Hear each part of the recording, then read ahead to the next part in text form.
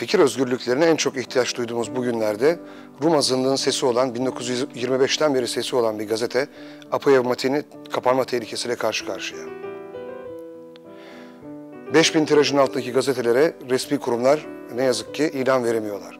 Küçük bir yasa değişikliğiyle, hükümete bir çağrıdır bu, küçük bir yasa değişikliğiyle bu gazetenin yaşaması ve kültürel hayatımıza katkı sunmaya devam etmesi çocuk oyuncağı. Desteğinizi bekliyoruz.